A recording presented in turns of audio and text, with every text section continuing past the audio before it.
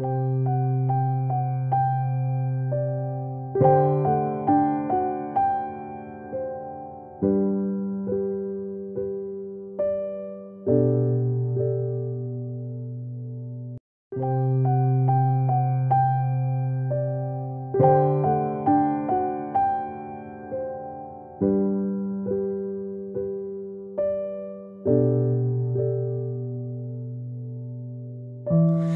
farfalla bianca che prova a nuotare all'aria di chissà che il mondo mente. Vorrei darle di più di quel che posso dare, farle sentire più di quel che sente. Mm, nai, nai, nai. Si posa una farfalla sulla spalla, oggi mi siedo e resto ad ascoltarla. Poi dice che non è più tempo di parlare, che poi domani è un'altra vita da incontrare. Dice ti prego mi porti al mare, avrei bisogno solo di capire se è giusto vivere quel che rimane. Ed io ti porterei, io ti porterei in un posto dentro, in un posto dentro e io ti porterei, io ti porterei in un posto dentro, in quel posto dentro me.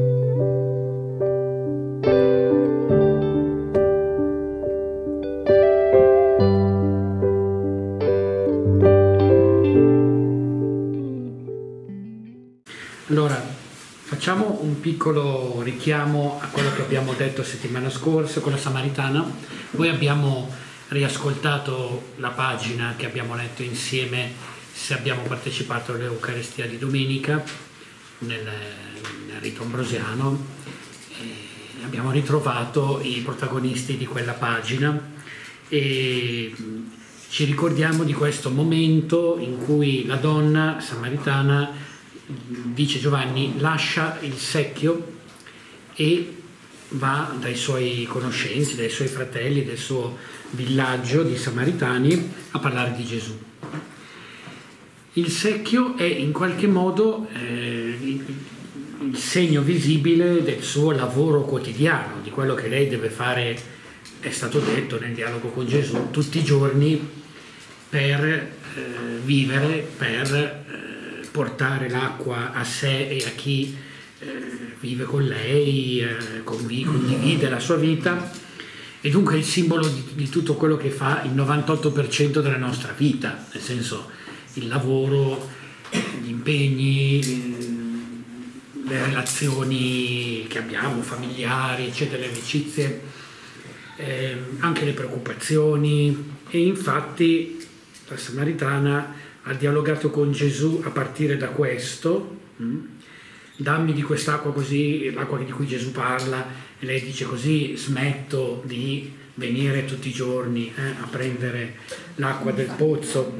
In qualche modo lì si incontrano il, um, i giorni feriali, lei ha in mente i giorni feriali, sono i giorni in cui bisogna lavorare, prendere il treno e fare le cose, e Gesù in qualche modo rappresenta la domenica eh, Gesù è il Signore della domenica, il Signore della giornata della gloria, no? della risurrezione, del dono di Dio, quindi anche della promessa, eh, sarebbe la porta d'ingresso verso l'eternità.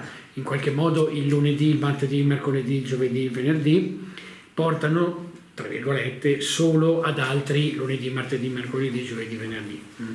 Tant'è vero che la nostra vita corre molto perché i ritmi eh, si ripetono, no? le cose sono un po' sempre quelle. Quando si interrompe questa routine siamo in realtà un po'... Allora, ci lamentiamo da un lato perché diciamo ah, sempre le solite cose da fare, eccetera. Però se si interrompe questa routine siamo un po' preoccupati perché in realtà, è la, ripeto, è la nostra vita, sono le cose che facciamo. Noi nei giorni feriali esprimiamo anche eh, noi stessi, quindi beh, basta pensare al lavoro, no? nel lavoro dice, si vede quello che sappiamo fare, quello che abbiamo da offrire, quello che siamo capaci di, di, di condividere con gli altri e anche le nostre doti, anche le nostre conoscenze, competenze, abilità.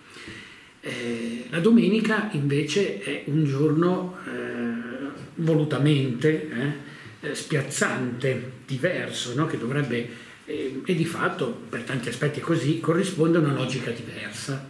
Sarebbe il giorno del riposo, sarebbe il giorno della riconciliazione con quella parte di noi che durante la settimana abbiamo in qualche modo trascurato, inevitabilmente trascurato, quante volte diciamo eh, vorrei pregare ma non ho tempo, vorrei leggere, vorrei capire, conoscere, ma non ho mai tempo perché devo fare cento cose, eh, vorrei frequentare di più e meglio eh, gli amici, le persone a cui voglio bene, non trovo mai il tempo di andare a trovare eh, i miei parenti, conoscenti, eccetera, nonostante ogni volta che ci incontriamo ci facciamo queste promesse, no?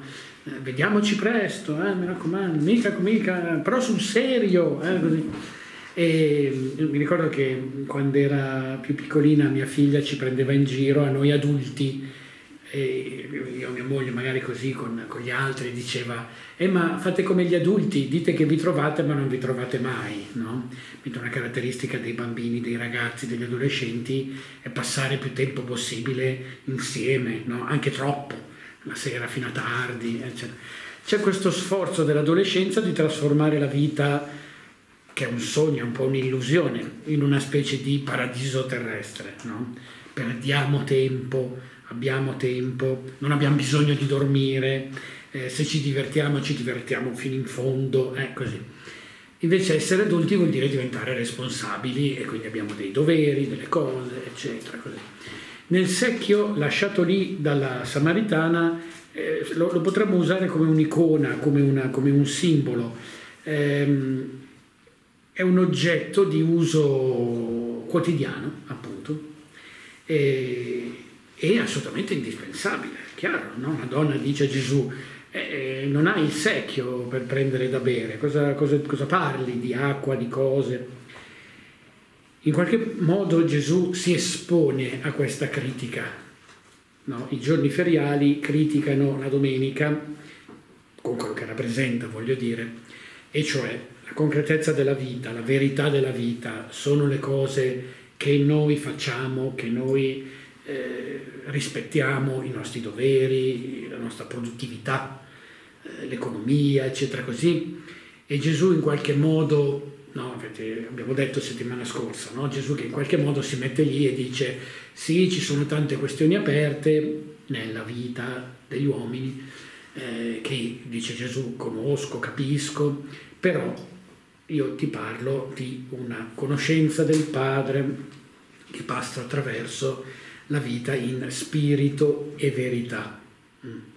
E in qualche modo la donna lo ascolta, rimane colpita, rimane perplessa, eh, capisce, non capisce, capisce che Gesù è diverso, che viene da un'altra dimensione, fa riferimento a un'altra dimensione. È lo stesso spiazzamento di Nicodemo che va di notte a trovare Gesù e gli dice tu sei un maestro, ho capito tante cose che tu hai, hai studiato evidentemente, hai riflettuto e poi con me ci sono anche dei miracoli che tu fai e Gesù gli dice ma guarda se non rinasci dall'alto siamo poi a casa Nicodemo quindi bisogna citare giustamente le fonti se non rinasci dall'alto non hai modo di entrare nel regno dei cieli e Nicodemo non capisce, no?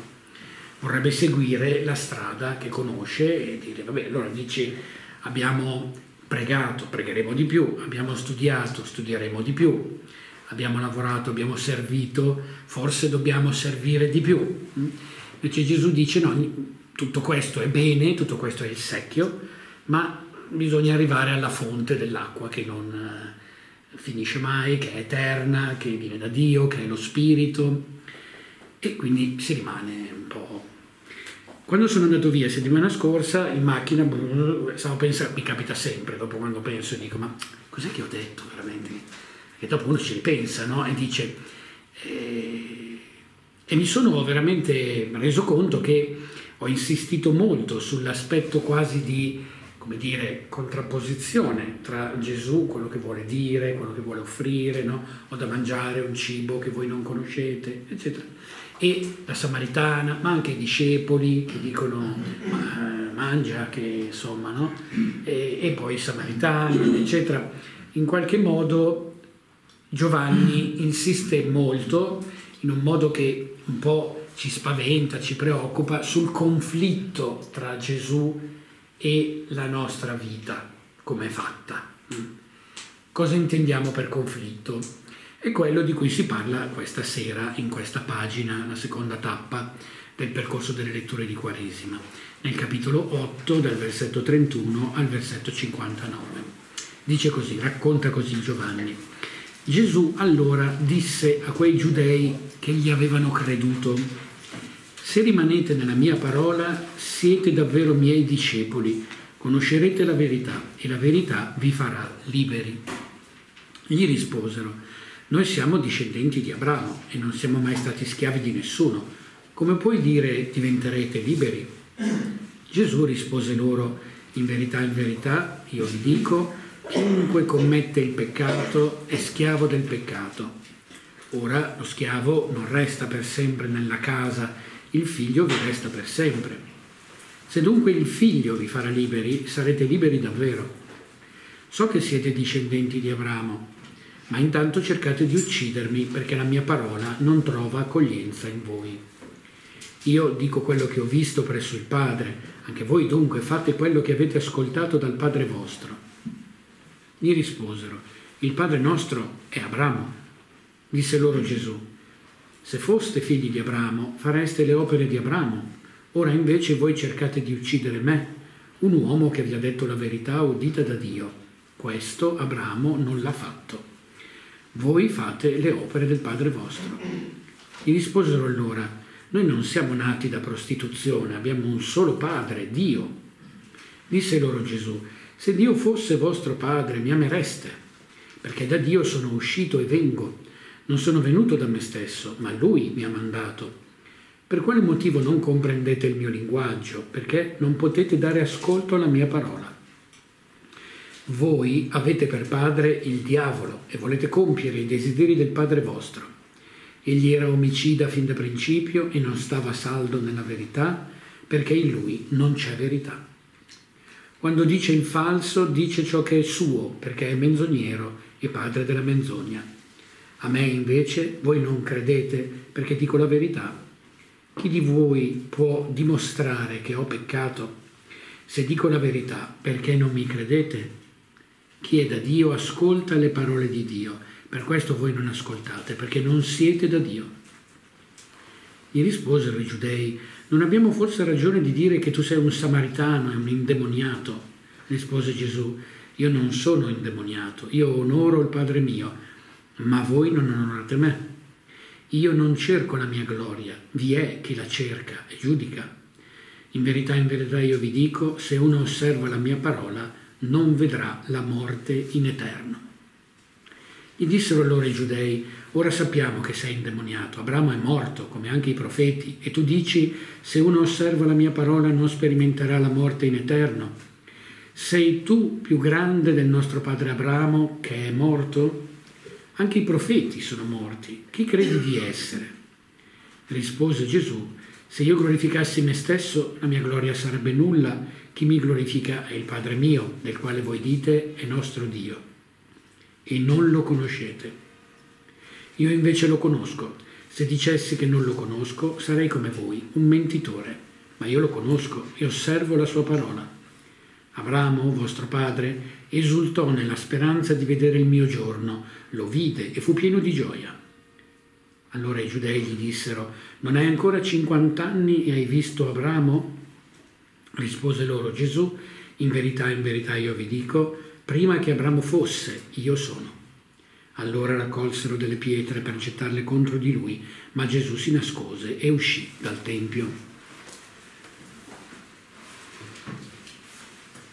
Si vede qui a colpo d'occhio questo, questa polemica, eh, questo conflitto aperto, anche molto duro eh, questi giudei ascoltano Gesù e, e lo attaccano, e dicono a Gesù che è un samaritano, è un, quindi un, un eretico, è sviato, abbiamo visto i samaritani settimana scorsa, e soprattutto dicono di Gesù che è un indemoniato.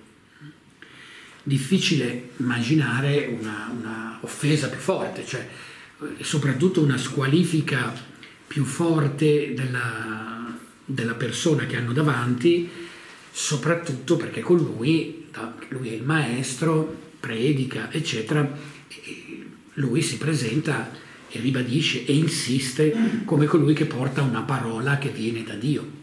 Mm. Non è che Gesù dice sono venuto per proporvi di prosciugare il lago di Genezaret con un'opera di ingegneria. No, non parla di questo, parla delle cose di Dio, del rapporto tra gli uomini e l'umanità, tra gli uomini e Dio, tra l'umanità e Dio e parla della verità. E dunque eh, i giudei lo ascoltano per questo motivo, per quanto lo ascoltano. Chi per curiosità, chi perché intuisce che Gesù ha qualcosa di importante da dire, chi per giudicarlo, per farsi un'idea, per non farsi fregare, per non farsi imbrogliare, però lo ascoltano come portatore della parola di Dio, perché Gesù si è qualificato così. No? E ehm, purtroppo nell'ascoltarlo e nel dialogare con lui apertamente ehm, giungono a delle conclusioni eh, radicali, terribili. Il confronto qui non avviene eh, con le due parti, no? Gesù da una parte e i giudei dall'altra, che si dicono, beh, questa è la tua idea, eh, perché no, ci penseremo, grazie che ci hai raccontato queste cose, eh, magari domani ce lo spieghi meglio, eh, d'accordo? Però tu, tu tieni conto anche del nostro punto di vista e cerchiamo di capire insomma come camminare. Peraltro tutta la tradizione di Israele, voi sapete bene, ehm, la tradizione del, del, confronto, del dialogo tra i maestri è molto sviluppata. No? avete presente il Talmud, i commenti, eh, la Mishnah, eccetera. Quindi c'è la Bibbia, che già non è piccola, eh, è importante, è il testo, con molte voci, ma poi c'è un, un confronto costante tra i maestri, no? interpretare ogni, ogni parola, ogni legge. In questo periodo io sto facendo un lavoro con una famiglia ebrea di Milano, che sono molto devoti, che seguono appunto le loro tradizioni e eh, sono rimasto incantato a, a, vedere la misura. Loro hanno in casa il Talmud, il Talmud babilonese, il Sefer HaZohar, che è il libro della, cosiddetto famoso come libro della Kabbalah, hm? il libro della, eh, della, della mistica, eh, della mistica ebraica, che si accumula nei secoli e ogni maestro porta un contributo, no? aggiunge qualcosa alla sapienza di tutto il popolo. Benissimo, quindi 25 volumi di mistica, 30 volumi del Talmud, è una bellissima tradizione. In qualche modo Gesù entra in questo eh, dialogo che dura secoli, no? si citano no? anche maestri antichi, no? si dice ci ha detto il nostro maestro di tre secoli fa, di mille anni fa, del Medioevo e prima e dopo, entra in questo dialogo ma si comporta male, è un maleducato. Io ogni tanto, eh, anche settimana scorsa, ho un po' accennato questa cosa. Prima o poi vorrei, ma un po' l'ho fatto nel, nel libro dedicato a, a, Gesù e al suo percorso, che si intitola Gesù uomo vero. Eh, mi piacerebbe riprendere il concetto e parlare di un Gesù antipatico, maleducato. Eh? Sicuramente Gesù ha anche caratteristiche meravigliose di attenzione, di pazienza, di generosità, e soprattutto è molto attento alle sofferenze, una, una brava persona, una persona interessante, però quando lo, lo coinvolgi su temi che gli stanno veramente a cuore, è difficile intendersi con lui, in realtà è, è praticamente impossibile, non riescono a, a dialogare, non c'è metodo, eh? non riescono proprio a trovarsi.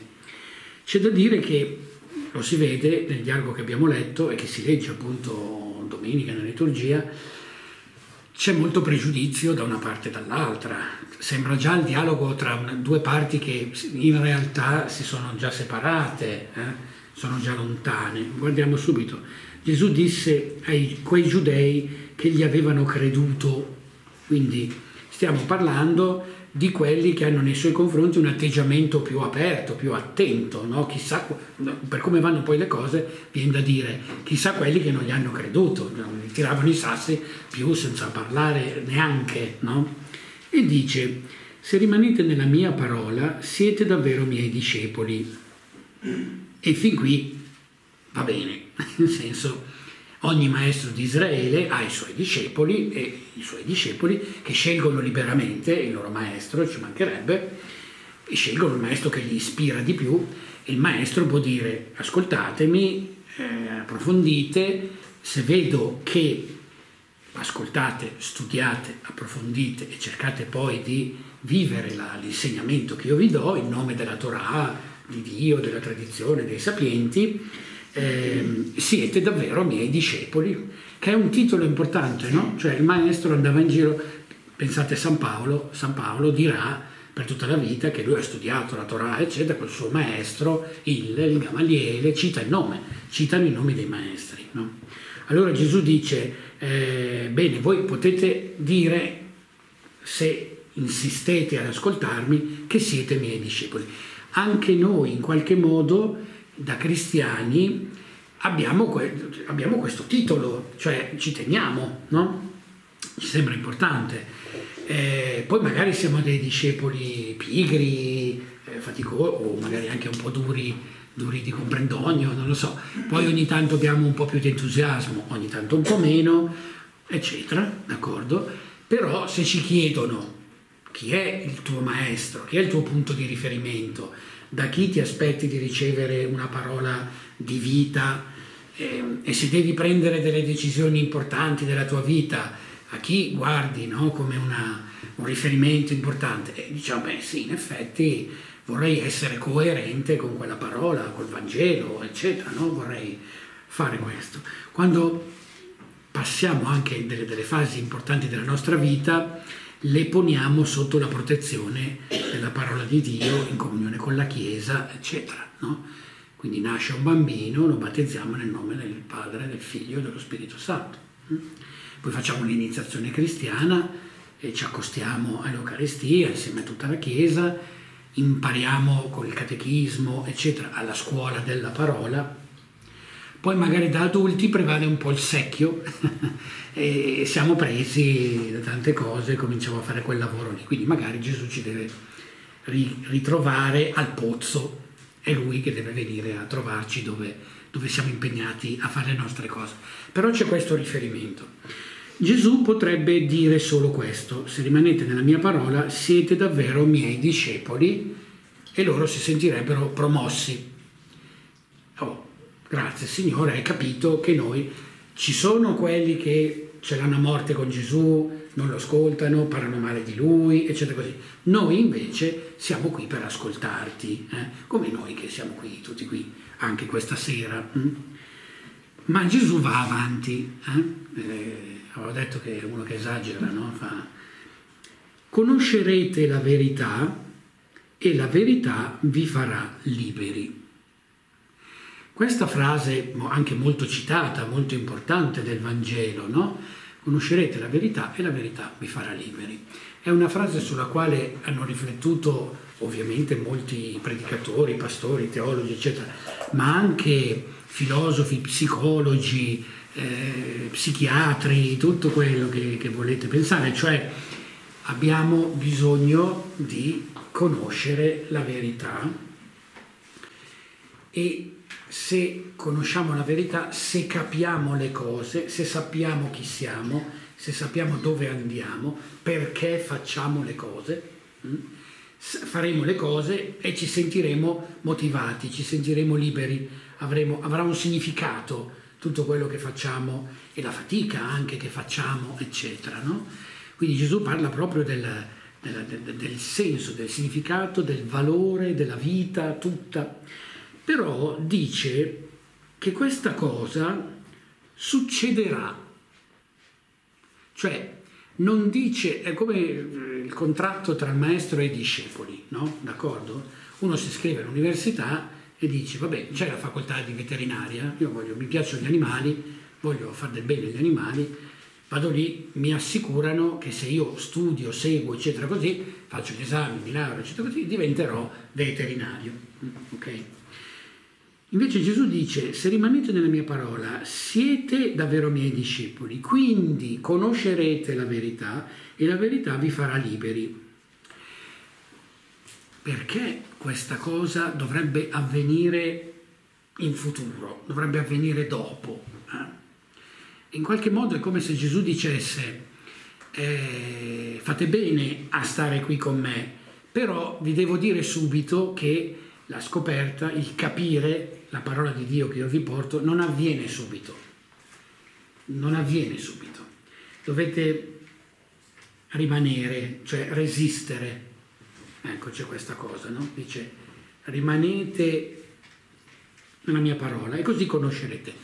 Allora, il rapporto tra il, il maestro spirituale in tutte le tradizioni religiose, eh? non solo l'ebraismo, anche il cristianesimo se vogliamo, il rapporto tra maestro e discepoli, come capiamo molto bene, deve portare a una crescita del discepolo finché il discepolo non ha più bisogno del maestro. Se no il maestro non ha lavorato bene giusto? No? Appunto, se uno si iscrive all'università e sta lì 5 anni, è ancora lì, 10 anni, è ancora lì, può sempre dire no perché sto studiando bene, però c'è qualcosa che non va, non stai andando nella direzione giusta, no? Tutto bello, eh, però bisogna ripetere la lezione. Invece Gesù spiazza, cioè dice una cosa diversa da qualunque altro maestro, dice con me non è mai finita, questo già, una cosa un po' spiazzante, no? Noi vorremmo arrivare a un livello di maturità. Tante volte sento, anche dialogando personalmente, no? con tante persone che ascoltano la parola, eccetera, c'è questa nostra aspirazione a guadagnare il titolo, guadagnare il pezzo di carta, perché non, non c'è, voglio dire, però arrivare a un livello, no? E ci sentiamo invece sempre indietro per strada, in cammino, poi ogni, facciamo tre passi avanti, due passi indietro o due passi avanti, tre passi indietro. Eh? E basta poco, tra l'altro ci accorgiamo, no? Basta poco eh, un incidente di percorso per farci perdere fiducia, speranza, fede, eh, entusiasmo, no? Basta veramente poco, eh? basta un'influenza, basta uno che, ti, che non ti saluta nel modo giusto. C'era un mio amico prete ah, che ancora parroco a Milano, era diventato prete da un mese, cioè era in parrocchia da un mese, quindi giovanissimo prete, e mi dice, vado a trovarlo, allora come va, cosa fai? E mi dice, ho scoperto sta cosa, cioè praticamente la gente, la fede della gente, della comunità, non quelli fuori, qui stiamo parlando di quelli dentro, no? Ok. Ehm, è molto fragile. Praticamente, mi ha detto questo esempio che l'ho sempre citato, successo tanti anni fa, mi dice praticamente se tu ehm, esci dalla, dalla, casa parrocchiale, incroci un parrocchiano, lo saluti, hai delle cose in mente, lo saluti ma non proprio con quell'entusiasmo, lui pensa ecco il prete non mi ha salutato bene, chissà cosa sta pensando, forse ce l'ha con me, forse io non faccio parte della comunità, forse Dio non esiste, forse vado all'inferno, una roba così. Eh? Gli diceva eh, è, è bel complicato no? questo fatto, mi sono accorto subito, pensavo di saperlo, ma non c'è come viverlo. Eh? Siamo, siamo, fragili no? in qualche modo, potremmo dire, pensiamo ancora al secchio della Samaritana, lasciamo il secchio con entusiasmo, sì, sì, eh, voglio Dio, voglio la, la, vita eterna, voglio la fede, voglio lo Spirito Santo, no, meno male, è ottimo, cioè questo che Gesù vuole, eh, voglio dire è tutto benedetto. Però poi, mm, chissà perché, mezz'ora dopo siamo lì col secchio, perché abbiamo, non siamo sicuri eh, che, che, che possiamo appunto cambiare, stravolgere la vita, fare delle cose. Gesù dice a chi lo vuole seguire, eh, nella mia parola dovete rimanere, ripeto, resistere. Mm? Se resistete, se resisterete, conoscerete la verità e la verità vi farà liberi. Allora i discepoli, cioè questi che hanno creduto a Gesù e che quindi dicono noi vogliamo essere chiamati tuoi discepoli, gli rispondono, beh, gli dicono, noi siamo discendenti di Abramo e non siamo mai stati schiavi di nessuno. Come puoi dire diventerete liberi? Allora cosa succede qui? Presentano il conto a Gesù, cioè gli dicono, beh Gesù calma però, noi ti rispettiamo, riconosciamo che tu sei un maestro e ci interessa ascoltare la tua parola, però tu tieni conto del fatto che noi possiamo scegliere anche altri maestri. Perché? Perché noi siamo figli di Abramo, cioè non è che adesso ci aspettiamo che siccome ti seguiamo, ti ascoltiamo, rimaniamo nella tua parola, come Gesù ha suggerito, finalmente conosciamo la verità, finalmente diventiamo liberi. No? Noi qui ci stiamo scegliendo con libertà. Facciamo un esempio. Domenica andiamo a messa, benissimo, siamo lì in 10, 100, 1000, non lo so quanti siamo, d'accordo? E chiaramente siamo tutti convinti che quelli che ci sono, noi compresi, hanno fatto una scelta, abbiamo fatto una scelta, cioè siamo qui e la prova che è una scelta è che gli altri non ci sono, tanti altri non ci sono, anche tantissimi, eh? d'accordo? E se uno ci chiede perché sei qui, eh, noi abbiamo una risposta molto forte, cioè diciamo eh, sono qui perché eh, ci credo, sono qui perché ho scelto, sono qui perché piuttosto che eh, perdere il mio tempo, eccetera così, mentre faccio le cose che fanno tutti, anch'io lavoro, faccio eh, la mia casa, le mie relazioni, eccetera, voglio anche rimanere nella parola di Gesù, seguirlo, ascoltarlo, eccetera. Sono qui per questo, no? E in qualche modo è come se Gesù qui dicesse a noi in quel momento, eh, siete qui, ma quello che deve accadere a partire dalla mia parola verrà e, voi, e noi diciamo, ma noi abbiamo, so, non capito, sì, verrà, guarda che noi abbiamo già fatto tanto, no? Invece in qualche modo Gesù qui sta dicendo, è solo l'inizio, che è tanta roba, perché appunto altri non iniziano neanche, no? Però non va mai dimenticato, è solo l'inizio, è una questione di stato per i, di questi che parlano con Gesù, no? abbiamo detto quasi di iscrizione al corso, di patente, eh? di titolo. Invece Gesù dice non c'è, in qualche modo è come se ci dicesse capisco perché dite di essere cristiani, capisco, siete qui, eh? mm. però attenzione, cos'è veramente essere cristiani, cos'è veramente essere eh, nella verità liberi o come diceva la Samaritana, adoratori di Dio in spirito e verità, il tema è ancora quello, no? Non lo sapete ancora, deve ancora accadere.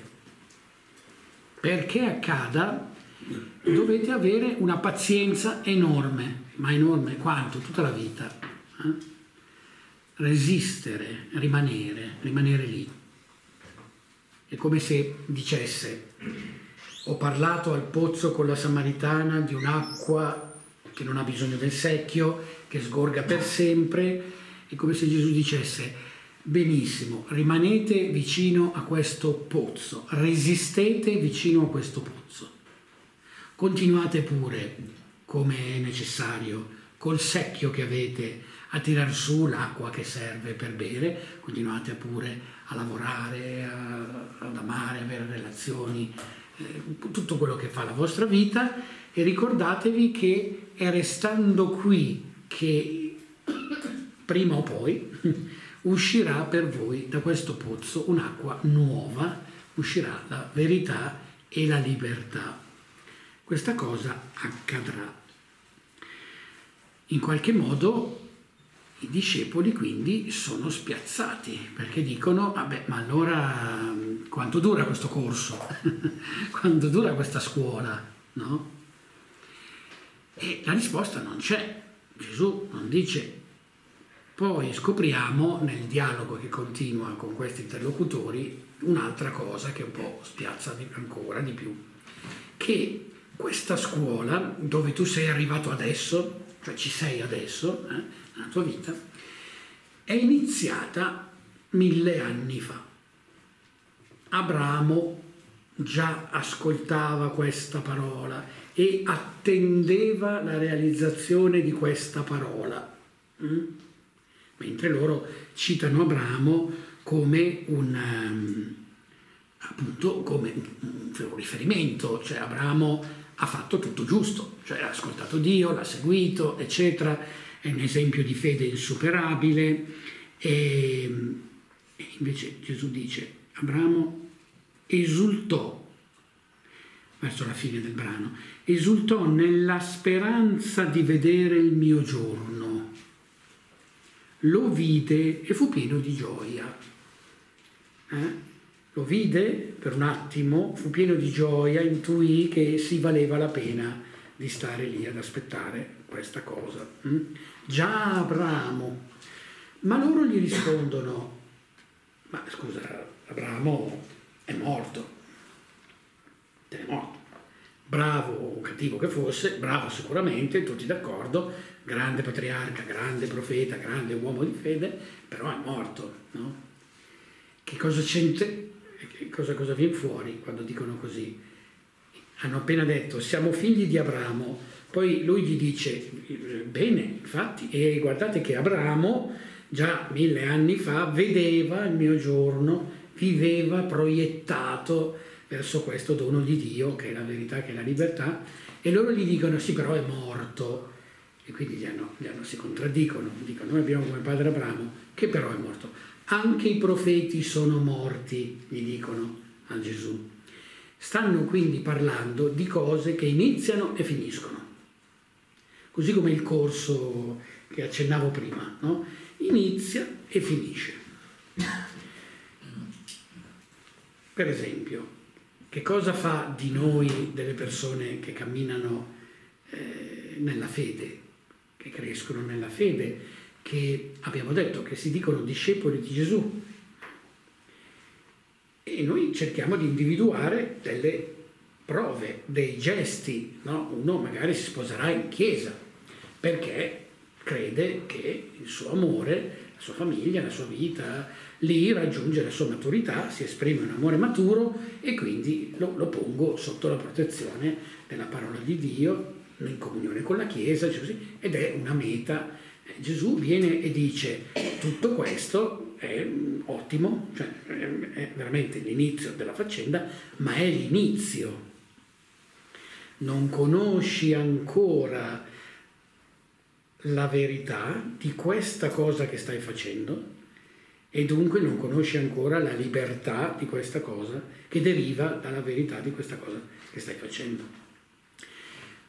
Siamo ancora dalle parti del pozzo con la Samaritana, no? La Samaritana dice tutti i giorni vengo a prendere l'acqua, papà.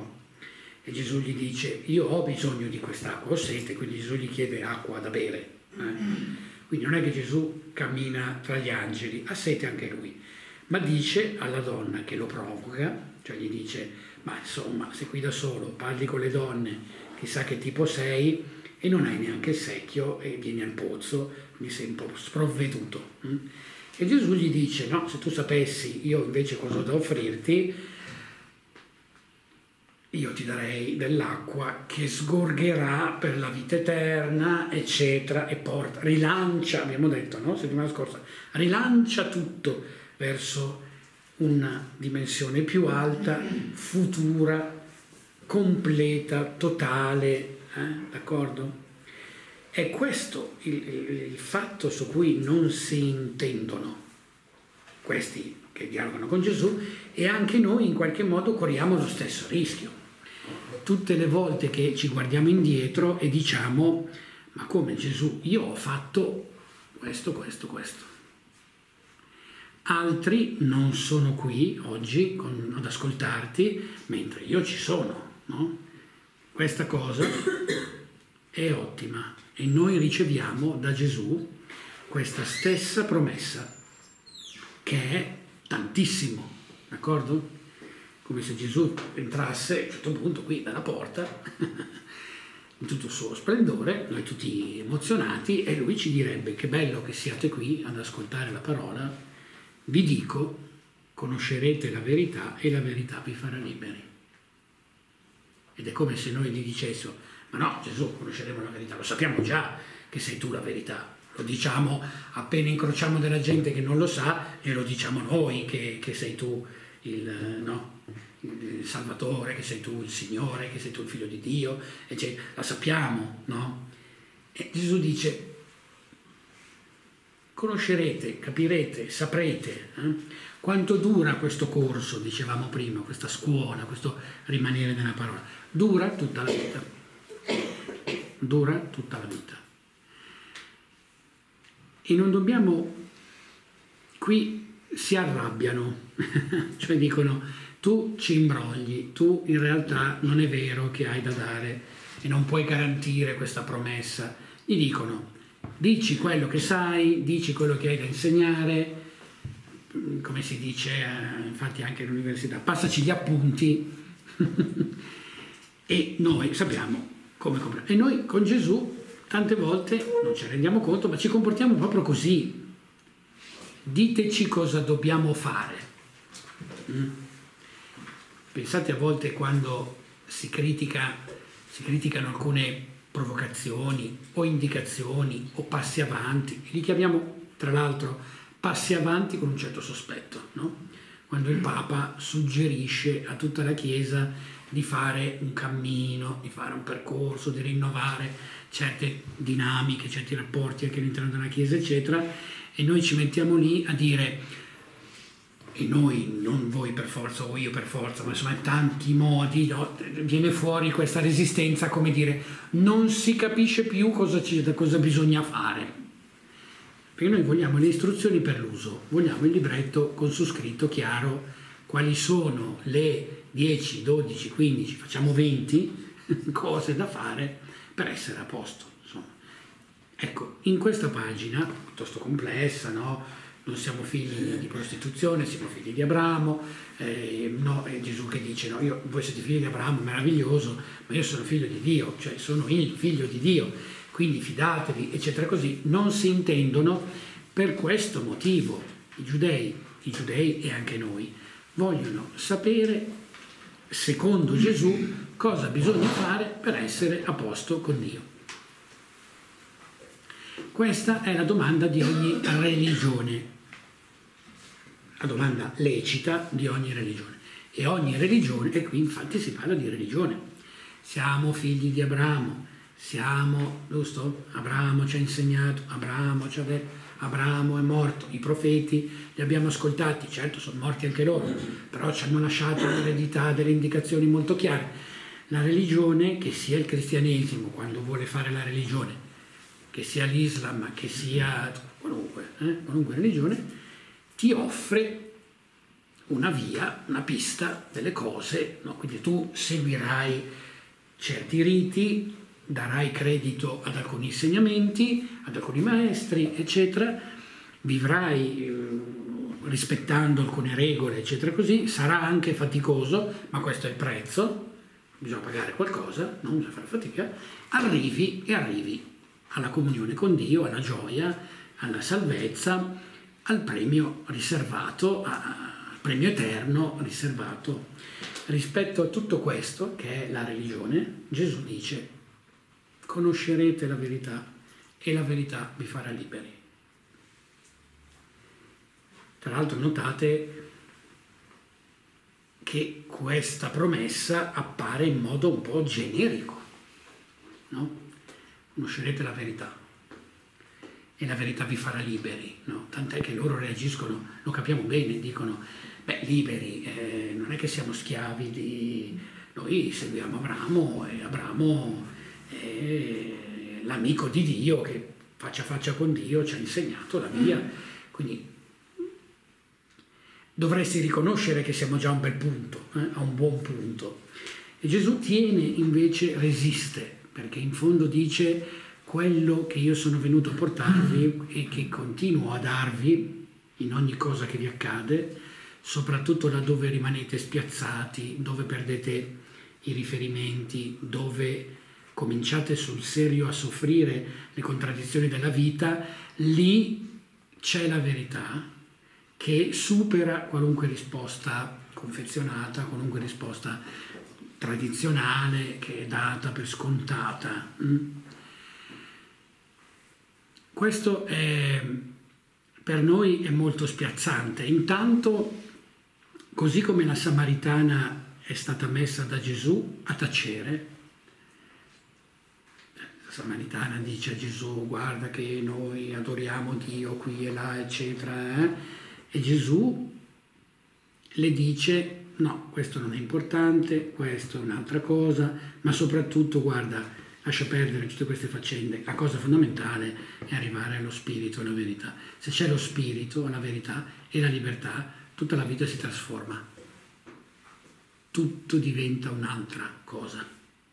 Qui Gesù sta proprio parlando di una condizione dell'anima, di uno stato dell'anima, per cui diventa, assume una luce completamente diversa tutta la faccenda del lunedì, martedì, mercoledì e giovedì se volete, eh, nell'immagine che dicevo prima, qui è la, è la, rivincita della domenica. La domenica è un giorno solo, i giorni feriali, poi c'è il sabato, ce lo attacchiamo, quindi rafforza un po' la domenica.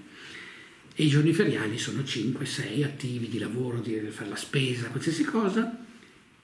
E Gesù invece tiene il punto, dice sì, guarda che il senso di tutta la settimana è la domenica. No? Ma questa cosa la conoscerai e ti farà libero e libera. Mm? Cioè ti trasformerà. Mentre noi cerchiamo invece ancora di essere aiutati anche dalla parola, anche dalla predicazione, anche dalla preghiera, anche dalla fede, nel prendere decisioni rispetto a quello che c'è e cercare di essere all'altezza di quello che dobbiamo fare. Mentre Gesù dice, se fossi una persona diversa, sarebbe diverso il modo con cui vivi le cose, vedi le cose, senti le cose. Cosa dovrebbero fare questi discepoli? Questi discepoli, questi, questi interlocutori di Gesù che comunque vogliono capire, seguirlo, ascoltarlo come noi, beh, prima di tutto dovrebbero tacere. Invece sono dei gran chiacchieroni, noi siamo questo, quest'altro, quest'altro, quest'altro, tu invece eh, parlano tanto. Eh? In secondo luogo imparare ad ascoltare, lasciare spazio davvero per ascoltare. Lascia che il Signore parli. Mm? L'atto più importante con cui noi possiamo in qualche modo ascoltare Gesù che parla in questo Vangelo è sicuramente la preghiera è sicuramente la preghiera, no?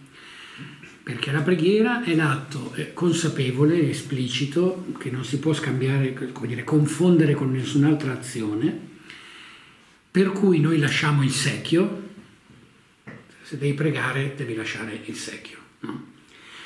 Poi i monaci che hanno tanta fantasia ci hanno raccontato che si può pregare anche lavorando, quelle storie lì, ma insomma, siamo seri, preghiera è un atto di spoliazione, è un atto gratuito, è un atto da cui non ricavi nulla immediatamente, non è un lavoro, è un'azione anche impegnativa, ma non è questo il tema, no? Non è un atto con il quale tu eh, stai provvedendo, realizzando, ecco, qualche cosa ma è proprio il dire, oh Signore, ma io comunque sono qui e sono tuo. sono qui vivo, respiro, penso, anzi penso anche troppo, non riesco a stare in silenzio e smettere di pensare, no? fare silenzio nella mia testa, però sono qui e sono tuo e in ogni cosa che faccio, che vivo, che imparo, che cerco, che realizzo, che sbaglio, perché va bene, no? Certo, la nostra vita vera, sono tuo e questa è la cosa fondamentale. Tu non mi lasci, io mi fido, io lo so che anche se oggi mi sembra che la mia giornata sia una giornata del cavolo, eh, è tua, perché io sono tuo. Ed è questo tipo di resa di fronte a Dio che Gesù suggerisce qui, no?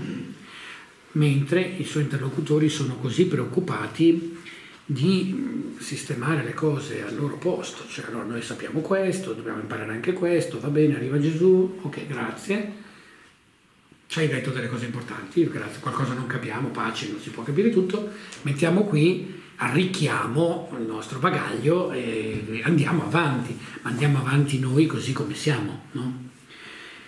Quando Gesù, e chiudo su questo, quando Gesù, loro lo contestano, no? gli dicono ma chi ti credi di essere a venire a dirci che noi dobbiamo sempre ripartire da capo? Eh? E Gesù dice, non sono io che do testimonianza di me, non sono io che dico credo di essere, no, io rispetto a voi ho una sola differenza, io parlo col Padre. E questa è la vera patente del credente. Io parlo col Padre. È più importante ed è la fonte di tutto il resto. Ma se la mia risposta è soltanto Beh, appunto ho imparato il catechismo, la, la, la, tradizione della fede, sono qui alla liturgia, eccetera. E Gesù ti direbbe, perché stai cercando il Padre? E speriamo che la nostra risposta sia quella, cerco il Padre, che è di per sé inesauribile. Inesauribile, no? E dove ti accorgi che è inesauribile? Nel momento della preghiera una preghiera nella quale tu ti metti veramente davanti al Signore, raccogli te stesso, offri te stesso, non per niente i salmi parlano della preghiera come di un sacrificio. È bello, interessante, no? Perché il sacrificio noi lo associamo al prendere qualcosa di prezioso, sacrificarlo, offrirlo.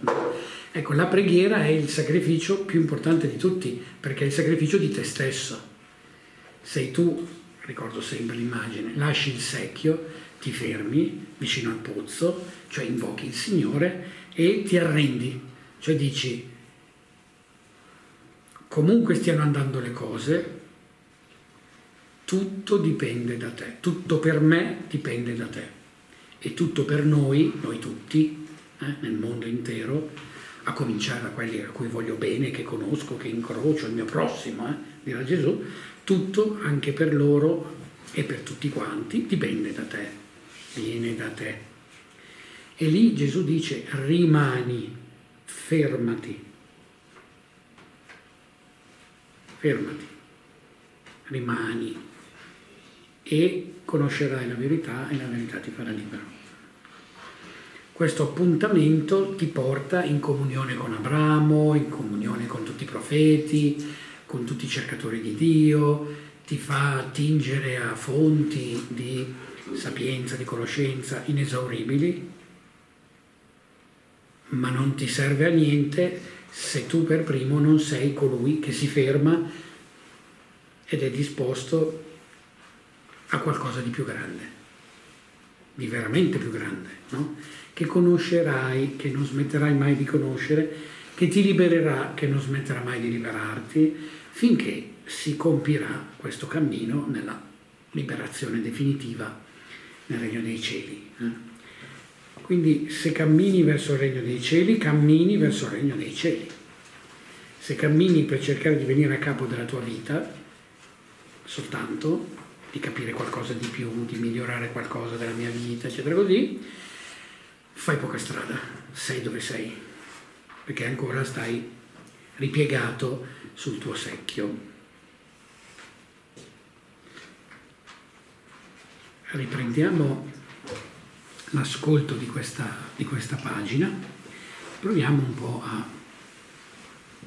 riascoltarla pensando alle cose che ho condiviso con voi e poi proviamo un attimino a scambiarci qualche idea. Prima di tutto io chiedo sempre se avete capito, se c'è qualche dubbio rispetto a quello che, che ho cercato di comunicare. Allora dice così, Gesù allora disse a quei giudei che gli avevano creduto, se rimanete nella mia parola, siete davvero miei discepoli. Conoscerete la verità e la verità vi farà liberi. Gli risposero, noi siamo discendenti di Abramo e non siamo mai stati schiavi di nessuno. Come puoi dire diventerete liberi? Gesù rispose loro, in verità, in verità io vi dico, chiunque commette il peccato è schiavo del peccato. Ora, lo schiavo non resta per sempre nella casa il figlio vi resta per sempre. Se dunque il figlio vi farà liberi, sarete liberi davvero. So che siete discendenti di Abramo, ma intanto cercate di uccidermi perché la mia parola non trova accoglienza in voi. Io dico quello che ho visto presso il Padre, anche voi dunque fate quello che avete ascoltato dal Padre vostro. Gli rispose, il Padre nostro è Abramo. Disse loro Gesù, se foste figli di Abramo fareste le opere di Abramo. Ora invece voi cercate di uccidere me, un uomo che vi ha detto la verità udita da Dio. Questo Abramo non l'ha fatto. Voi fate le opere del Padre vostro. Gli risposero allora, noi non siamo nati da prostituzione, abbiamo un solo Padre, Dio. Disse loro Gesù, se Dio fosse vostro Padre mi amereste, perché da Dio sono uscito e vengo.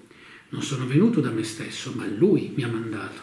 Per quale motivo non comprendete il mio linguaggio? Perché non potete dare ascolto alla mia parola. Voi avete per padre il diavolo e volete compiere i desideri del padre vostro. Egli era omicida fin da principio e non stava saldo nella verità, perché in lui non c'è verità. Quando dice il falso, dice ciò che è suo, perché è menzognero e padre della menzogna. A me invece voi non credete perché dico la verità. Chi di voi può dimostrare che ho peccato? Se dico la verità, perché non mi credete? Chi è da Dio ascolta le parole di Dio. Per questo voi non ascoltate, perché non siete da Dio. Gli risposero i giudei, non abbiamo forse ragione di dire che tu sei un samaritano e un indemoniato? Rispose Gesù, io non sono indemoniato, io onoro il Padre mio, ma voi non onorate me. Io non cerco la mia gloria, vi è che la cerca e giudica. In verità, in verità, io vi dico, se uno osserva la mia parola, non vedrà la morte in eterno. Gli dissero allora i giudei, ora sappiamo che sei indemoniato. Abramo è morto, come anche i profeti, e tu dici, se uno osserva la mia parola non sperimenterà la morte in eterno. Sei tu più grande del nostro padre Abramo che è morto? Anche i profeti sono morti chi credi di essere? Gesù rispose, se io glorificassi me stesso, la mia gloria sarebbe nulla. Chi mi glorifica? Il Padre mio, del quale voi dite è il nostro Dio e non lo conoscete. Io invece lo conosco. Se dicessi che non lo conosco, sarei come voi, un mentitore. Ma io lo conosco e osservo la sua parola. Abramo, vostro padre, esultò nella speranza di vedere il mio giorno lo vide e fu pieno di gioia. Allora i giudei gli dissero, non hai ancora 50 anni e hai visto Abramo? Rispose loro Gesù, in verità, in verità io vi dico, prima che Abramo fosse, io sono. Allora raccolsero delle pietre per gettarle contro di lui, ma Gesù si nascose e uscì dal Tempio. Un altro elemento su cui fare attenzione è che Gesù stesso si presenta a sua volta come discepolo. Quindi dice, da maestro vi dico, rimanete nella mia parola, capirete, scoprirete, sarete liberi. Poi a sua volta dice di sé, io ascolto la parola del Padre, vado avanti, no? Lo scandalo grande di questi discepoli che siamo noi sarà che sul più bello Gesù cambierà, no? Noi pensavamo che lui avrebbe eh, conquistato il regno di Israele, pensavamo che lui fosse il profeta, pensavamo anche qui. Proviamo a immaginare il rapporto con un maestro che ci ha promesso di farci conoscere tutto quello che sa ed è maestro perché è arrivato a un livello di conoscenza e poi a un certo punto fa cose che sembrano non c'entrare nulla con quello che noi abbiamo imparato da lui. No? È anche per questo che Gesù parla al futuro. Conosceranno la verità dopo la croce. Riceveranno lo spirito di libertà dopo la risurrezione. No? Invece anche qui teniamo sempre il confronto con un maestro di Israele, un maestro spirituale, un riferimento.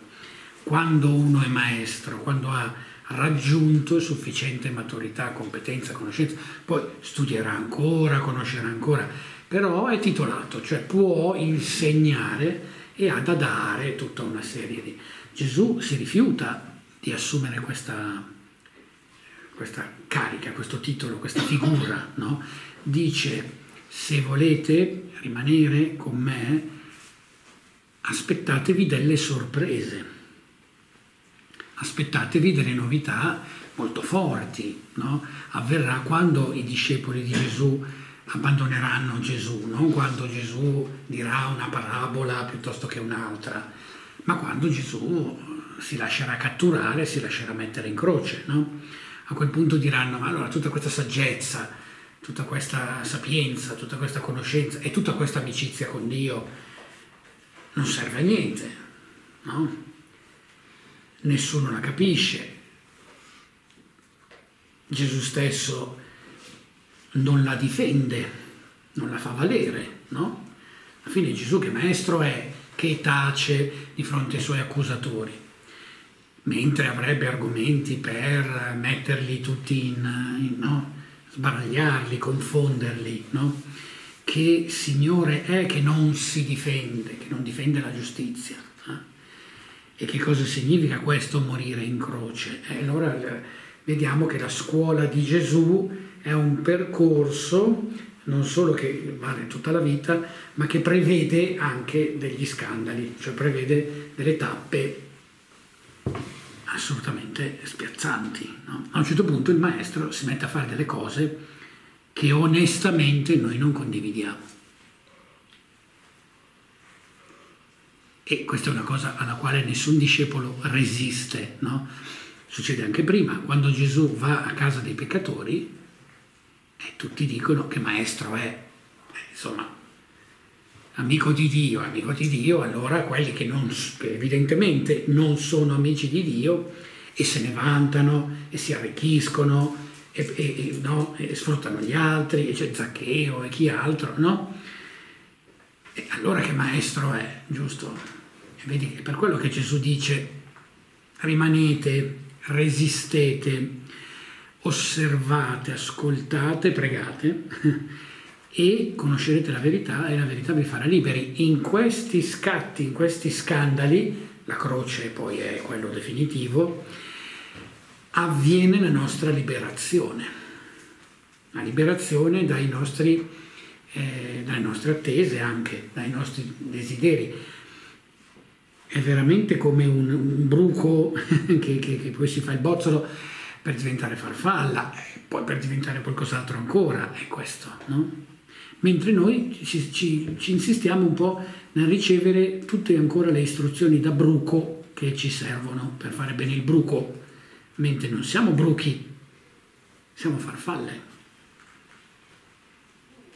È di questo che Gesù sta parlando. Ne ha parlato alla Samaritana in quel modo e ne parla in questo dialogo no? anche questa sera con noi. La Samaritana col secchio tutti i giorni porta per andare a prendere l'acqua, ma intanto c'ha tutte le sue magagne, i problemi, i mariti, mica mariti, chi adora, chi non adora, e quelli che parlano male di lei, tutto quanto fa la sua vita, quella è una vita da bruco. E Gesù dice alla Samaritana, guarda, ti dico una grande cosa, siccome sei un bruco, ma adesso io ti dico che tu diventerai una farfalla, bellissima. Ecco, la, la sfida della fede è questa. E il bruco non è che diventa farfalla fuori di studiare, no? Anche il bruco. Se il bruco si laurea diventa farfalla, no? È la sua natura. Deve fare tutto il suo percorso, deve fare tutta la sua maturazione, tutta la sua crescita, no? Conoscerai la verità, aprirai le ali e sarai libero. È così. Mentre invece noi troppe volte, tante volte, ripeto, non sono io che, che, che faccio questa critica, è Gesù che lo fa qui, la applichiamo a noi, seguiamo quel, quel, poco, quel tanto di fede che abbiamo per leggere la nostra vita, cercando di trarre dalla fede istruzioni per i bruchi. Perché ci diciamo bruco sono e bruco rimango, cosa vuoi, no? Quante volte si sente no? proprio dire, no? Non sono tanto fatto per le cose spirituali, non sono tanto portato per... Sono un bruco. il bruco, finché è bruco, ha il suo mestiere da fare, è vero, è verissimo, no? Notate, è importantissimo, qui in nessuna frase di questo Vangelo che abbiamo letto questa sera si parla mai del bene e del male, perché non è la questione, non è il tema. Se ci ostiniamo a cercare di ricevere dal Vangelo di Gesù istruzioni a proposito del bene e del male, lì non solo siamo bruchi, ma siamo anche bruchi un po' basso basso livello. Strisciamo molto a terra. A Gesù la questione del bene e del male non interessa nulla. Questa è una cosa che si impara alla sua scuola per essere liberi. Noi ci accontentiamo. Ecco. Allora, usando l'immagine, il baco, no? che il bruco a un certo punto si vede, è la preghiera.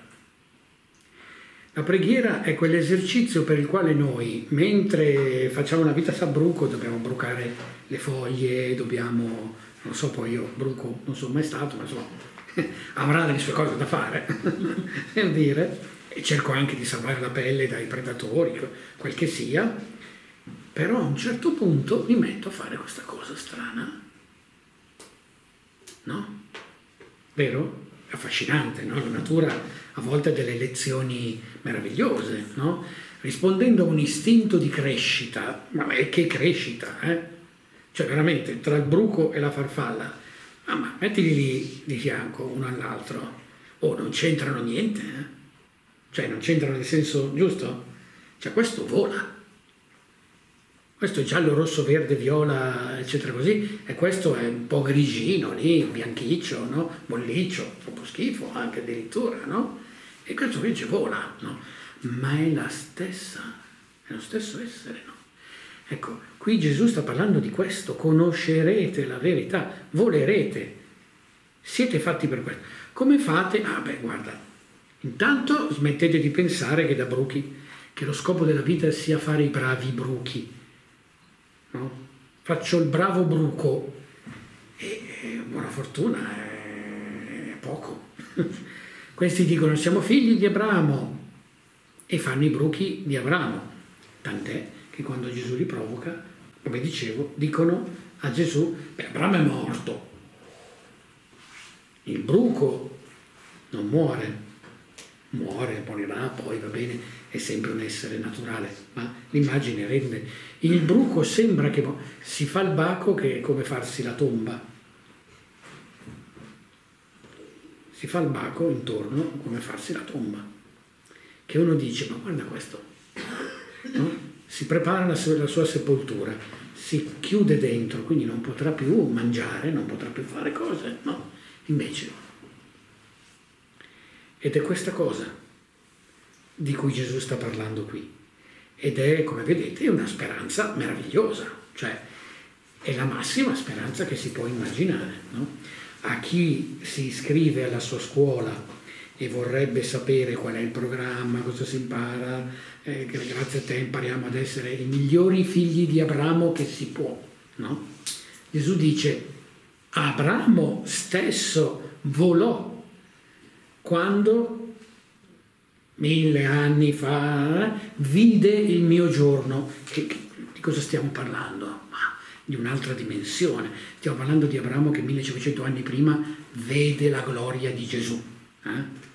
E stiamo chiaramente parlando di una farfalla che fa una cosa clamorosa, no? E questi insistono eh, tre volte, dicono Abramo è morto, i profeti sono morti, morti, morti, morti, morti. Sono veramente innamorati della morte e cercano istruzioni, se va bene, per morire bene, mentre si tratta di camminare dietro Gesù per vivere, risorgere, la vita eterna e tutto. Mm? Questo una preghiera, quando uno si mette a fare, infatti come il bruco tesse pazientemente una cosa che non ha senso, se, se, ammettiamo di non conoscere il bruco come si sviluppa, se vediamo il bruco che si fa il bozzolo, diciamo che c'entra, cos'è sta roba? Questa è una preghiera il bruco mm, ha mangiato, ha fatto tutto, è arrivato il momento in cui deve preparare se stesso, dedicarsi a creare questa cosa misteriosa, questo uovo in fondo, eh, da cui rinascere in altra forma, in altra gloria, con altre possibilità. No?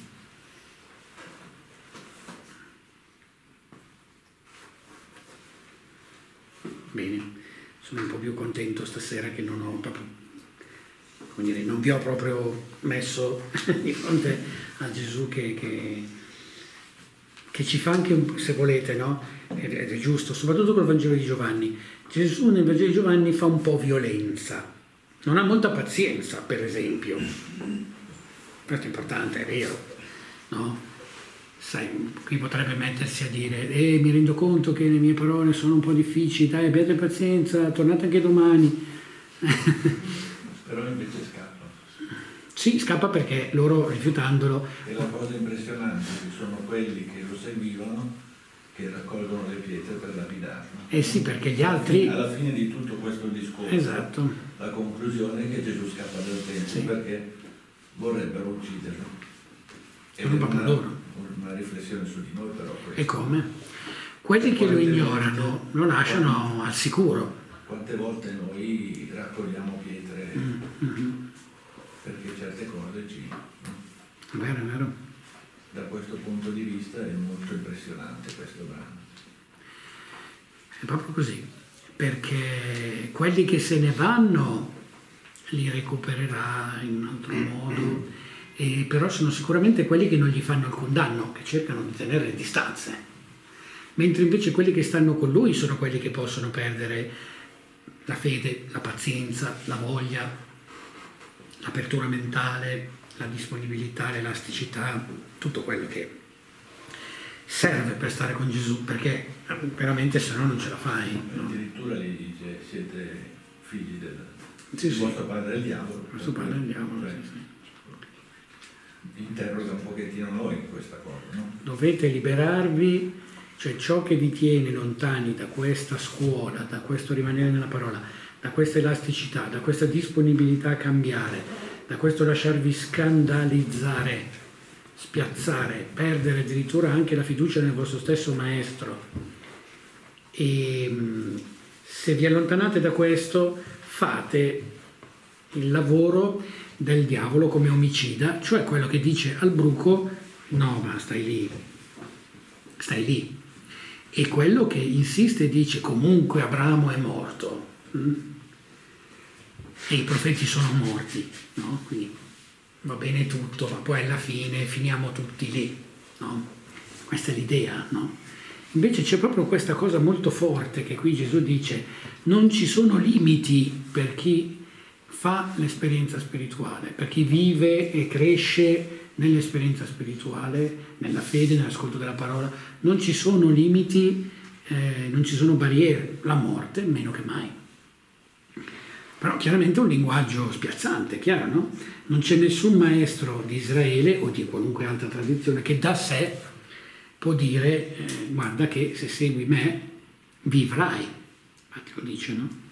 Non vedrà la morte in eterno. se uno osserva la mia parola, non sperimenterà la morte in eterno. Che è veramente scandaloso, è una promessa veramente... Il primo che sperimenterà la morte è lui, è Gesù stesso. Quindi vedete che ci sono nel Vangelo diversi passaggi rispetto ai quali bisogna aspettare la fine del Vangelo per vedere come va a finire, per vedere come, come accade. Quando vedranno Gesù sperimentare la morte diranno ci ha mentito, ci ha detto una balla, eh, ha detto una cosa non vera. Certo, e gli dicono dov'è il padre, eh, dov'è, eccetera, no? Cioè tutto è negato, tutto addirittura perché si tratta di rimanere, cioè resistere. Vi consiglio di resistere, vale la pena. E poi di gioire di questa bellissima promessa, immaginatevi farfalle. Giusto? Ci avete le farfalle in casa? Beh, comunque, quando siamo nel prato in primavera ci vengono a trovare, ci ricordano il Vangelo. Grazie, buona serata. Grazie, grazie. Si posa una farfalla sulla spalla ed io non posso darle altro se non un addio. Che il suo destino è fragile come la forza, ma dice che oggi vola ed è lì la ricchezza. Rinchiude in un minuto vent'anni di cose. Il tempo in fondo è quello che noi gli affidiamo. Di quelle ali tra cent'anni chissà che rimane. Mi dice lascia ai bimbi il sogno di volare. Ma ora ti prego mi porti al mare. Qual qualsiasi posto purché sia altrove, dove non servono più le parole. Ed io ti porterei, io ti porterei in un posto dentro, in un posto dentro. E io ti porterei, io ti porterei in un posto dentro, in quel posto dentro me. Eh.